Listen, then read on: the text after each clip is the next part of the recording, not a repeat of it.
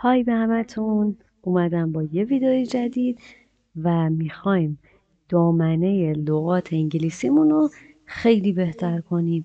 یه سری کلمات هست که توی زبان انگلیسی بیشتر از بقیه تکرار میشه و میشه گفت پایه‌ای تره بیسیک تره می‌خوام توی این ویدیو اون کلمات مهم و رو بهتون یاد بدم. شما با هم تکرار می‌کنید هم تلفظش رو یاد می‌گیریم هم معنیش رو یاد می‌گیریم. و اینکه قرار دامنه لغاتمون رو حسابی گسترش بدیم.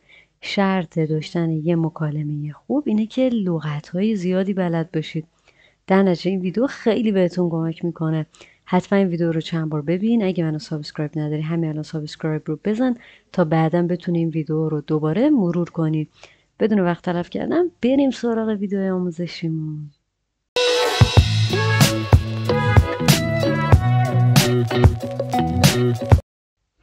کلمه اول این هست. این.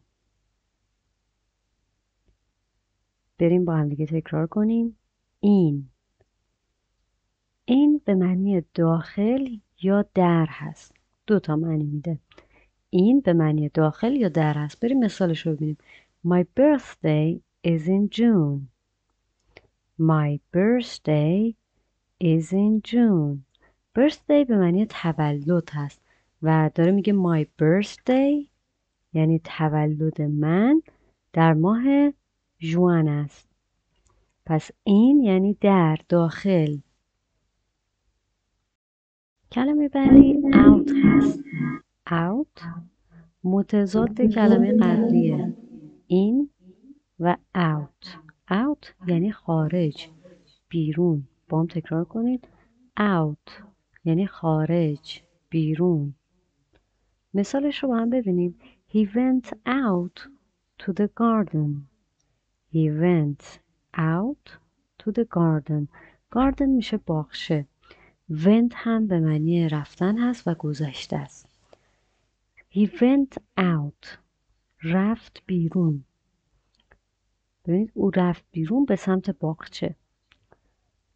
پس out به معنی بیرون یا خارج هست. Include. Include. با هم دیگه تلفظ کنیم. Include یعنی شامل. Include یعنی شامل. حالا مثال رو ببینیم بهتر متوجه میشید. Eight people including two children were injured. Eight people people به معنی مردم هست و eight people یعنی هشت نفر منظورش هشت نفره including شامل two children دو بچه were injured آسیب دیدند پس include به معنی شامل هست exclude exclude exclude به معنی حذف هست. Exclude. یعنی حذف. بریم با هم دیگه مثالش رو ببینیم. The company decided to exclude certain items from sale. The company یعنی اون شرکت decided تصمیم گرفته. Exclude حذف کردن. اینجا فعلش هست. دقت کنید به این certain items. گفته شرکت تصمیم گرفت بعضی از موارد رو از فروش حذف کنه. پس exclude میشه حذف و در حالت فعل میشه حذف کردن. به این دقت داشته باشید. Life. Life. Life معنی زندگی هست. Life یعنی زندگی. بریم با هم دیگه مثال هم داشته باشیم. Life is full of surprises and opportunities. Life یعنی زندگی فول هم به معنی پر. سرپرایز رو تو فارسی هم میگیم. سرپرایز و opportunities یعنی فرصت ها این جمله داره میگه زندگی پر از سورپرایز و فرصت هاست life یعنی زندگی و داره میگه که life is full of surprise and opportunities. پر چیه؟ پر سورپرایز و فرصت هاست death. Death. دقت کنید. Death متضاد کلمه life هست. پس death یعنی مرگ. Death یعنی مرگ. عزیزا من سعی کردم اول یه کلمه رو بگم بعد متضادش رو بهتون بگم که بهتر توی ذهنتون بمونه. پس اگه به این دقت نکردید حتما برگردید از ویدیو اول دوباره ببینید. Life بود حالا death. Death is a natural part of life. Natural یعنی طبیعی. داره میگه مرگ یه بخش طبیعی از زندگیه. Death is a natural طبیعی part قسمت. یه بخش یه قسمت طبیعی of life از زندگیه. یعنی هم از کلمه life که توی قسمت قبل بهتون یاد دادم استفاده شده و هم از کلمه death light. Light. بریم با هم دیگه تکرار کنیم. Light. Light به معنی روشن و نوره. دو تا معنی می‌تونه داشته باشه. که ما توی مثال از کلمه نورش استفاده می‌کنیم. The room was filled with warm soft light from the sun. روم یعنی اتاق و فعل فیل یعنی پر شدن. و لایت هم اینجا یعنی نور. خب معنیش رو ببینیم. اتاق با نور گرم و ملایم خورشید پر شده بود. یا می‌تونیم بگیم که نور گرم و ملایم خورشید اتاق رو پر کرده بود اتاق رو پوشونده بود. دیگه این ترجمه بستگی به خودتون داره. پس اینجا light یعنی نور ولی دو تا معنی داره. light به معنی نور و روشن هست. بریم تو بخش بعدی کلمه متضادش رو کار کنیم. Dark. Dark. با هم تلفظ کنیم dark به معنی تیره dark یعنی تیره بریم سراغ مثال Her room was so dark that she had to fumble for the light switch. Her room دوباره ببینید میگه اتاقش was so dark خیلی تیره بوده that she had to که اون باید اتاقش به قدری تاریک بوده که مجبور شده دنبال کلید چراغ بگرده.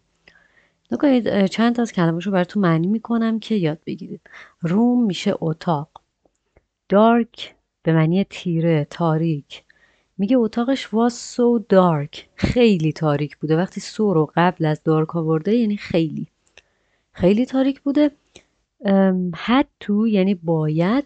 فامبل نکنید فامبل یعنی مثلا با باید دنبال چراغ بگردید با دست اینجوری رو دیوار می‌کشید دنبال چراغ میگردید.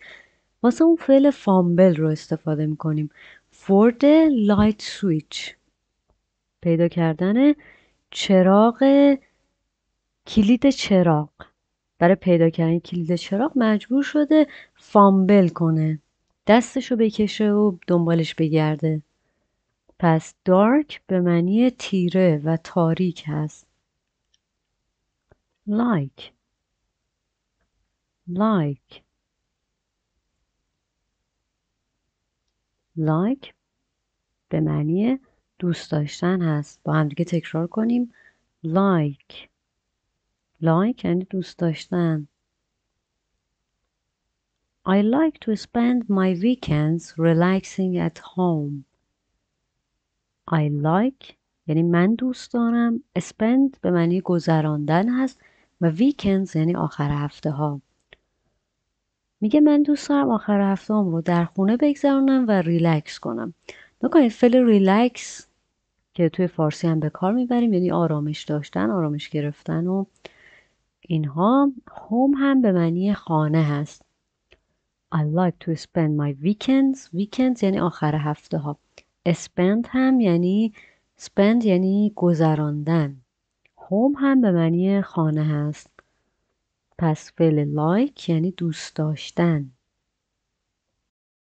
Hate. Hate. Hate. با هم تلفظش می‌کنیم. Hate یعنی تنفر داشتن متنفر بودن. میگه hate. نکنید من این مثال رو سعی کردم شبیه مثال قبلی بیارم ولی متضادش که بهتر درک کنید. میگه I hate جمله قبلی I like بود. I hate to spend my weekends relaxing at home. I hate یعنی من متنفرم. تو جمله قبلی گفتش که علاقه داره دوست داره آخر هفته بمونه خونه و ریلکس کنه. ولی اینجا داره میگه I hate من متنفرم که آخر هفتهام رو در خونه بگذرونم و ریلکس کنم. به همین راحتی با جابجا کردن فعل تونستیم یه جمله متضاد درست کنیم. I like to spend my weekends relaxing at home. در مقابل I hate to spend my weekends relaxing at home. پس hate یعنی تنفر داشتن و فعل like یعنی دوست داشتن. Little little با هم دیگه تلفظ رو ببینیم و تکرار کنیم little little یعنی کوچک little یعنی کوچک مثال ببینیم با هم دیگه میگه the tiny kitten played with a little ball of yarn kitten کت میشه گربه kitten میشه بچه گربه. خب یعنی به بچه گربه ما نمیگیم کت دیگه. میگیم کیتن. داره میگه گربه کوچک پلی یعنی بازی کرد. حتی فعل گذشته است به ایدیش دقت کنید. With یعنی با با چی بازی کرد؟ A little ball of yarn. Yarn یعنی نخ. داره میگه گربه با چی بازی کرده؟ A little ball of yarn. یعنی یک توپ کوچک نخی. ball یعنی توپ خب؟ وقتی میگه ball of yarn یعنی توپ نخی و little هم که آورده به معنی کوچیکه داره یه صفت میده و میگه که اون توپ نخی کوچیک بوده که گربه داشته باش بازی می‌کرده. پس little به معنای کوچک است. big big شما هم بعد که تلفظ اومد با هم بگید big big یعنی بزرگ پس big یعنی بزرگ بریم سراغ مثال She bought a big pillow for her bed. She bought a big pillow for her bed. bought گذشته buy به معنی خریدنه. داره میگه که یه چیز خریداری شده. خب میگه شی به معنی اون خانوم. وقتی می‌خوایم به یه خانومی اشاره کنیم میگیم شی. اگه به جای شی هی بود می‌شد اون آقا. She bought a big pillow. یه بالشت بزرگ. ببینید big گفتیم یعنی بزرگ. گفته big pillow. Pillow یعنی بالش. پس وقتی میگیم big pillow یعنی بالشت بزرگ. For her bed. برای تخت خوابش. Bed میشه تخت خواب. داره میگه که اون یه بالشت بزرگ برای تخت خوابش خریده. Her bed تخت خوابش. تخت خواب مال اون خانم است دیگه درسته که برش بالشت بزرگ خریده. پس از هر استفاده می‌کنیم. پس بیگ شد بزرگ. Lose lose با هم دیگه تکرار کنیم.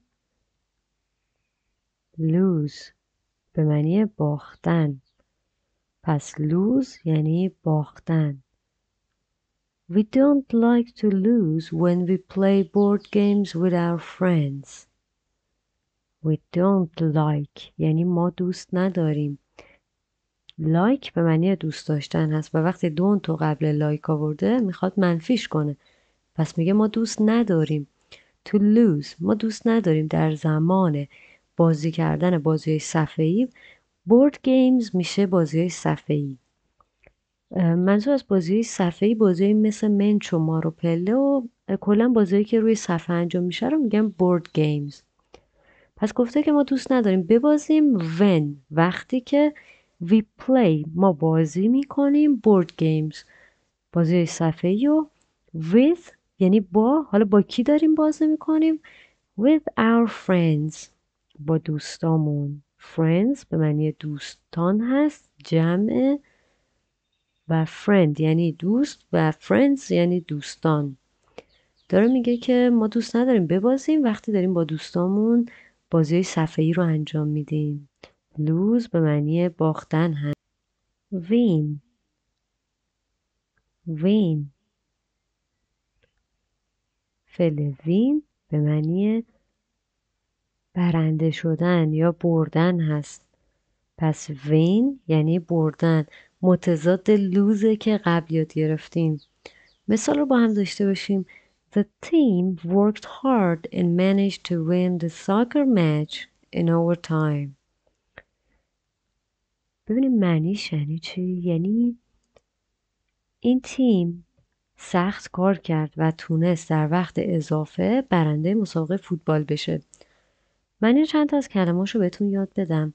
تیم توی فارسی هم همون رو میگیم. میگیم تیم. worked hard. Work به معنی کار کردن هست و وقتی می‌بینیم که ایدی گرفته یعنی گذشته است. میگه worked hard. سخت کار کرد. گذشته. And و تیکه دوم جمله manage to win. Manage به معنی مدیریت کردن هست. داره میگه مدیریت کرد تا چون می‌دید بعدش تو اومده مدیریت کرد تا چه اتفاقی بیفته؟ to win تا برنده بشه. The soccer. Soccer به معنی فوتبال هست. داره میگه فوتبال رو و مچ هم به معنی مسابقه است. پس وقتی میگه ساکر مچ یعنی مسابقه فوتبال. مدیریت کرده که مسابقه فوتبال رو وین برنده بشه ببره. این در overtime time به معنی زمان هست. وقتی داره میگه overtime منظورش وقت اضافی فوتبال هست. پس اون تیم سخت کار کرده و تونسته در وقت اضافه برنده مسابقه فوتبال بشه. به همین راحتی. خب پرونده این ویدیو رو همینجا میبندیم امیدوارم که لغت ها رو خوب یاد گرفته باشی. یاد نره حتما بیا این ویدیو رو چند بار ببینی. اگه امروز یکی دو بار دیدی دوره فردا بیا یه بار ببین برات دوره بشه و هفته دیگه بیا بهش سر بزن و اینطوری نباشه که یه بار یه ویدیو رو ببینی چون لغت ها جدیده و هر بار تو می‌تونی چیزای جدیدتر یاد بگیری. اگه از این سبک ویدیو خوشت اومده حتما تو کامنت ها من بگو تا باز هم برات این سبک ویدیو رو بسازم و با مثال سعی کنم بهت لغت های بیشتری یاد بدم و به نفعت باشه که برات جا بیفته معنی اون کلمات یا اون فعل ها اینم بگم که لایک و کامنت و اشتراک گذاری این ویدیو بهم انرژی خیلی زیادی میده و از همتون ممنونم بابتش. راستی اگه منو subscribe نکردی subscribe رو بزن و زنگوله رو فعال کن تا ویدیو بعدی رو برات بفرستم. خدافظ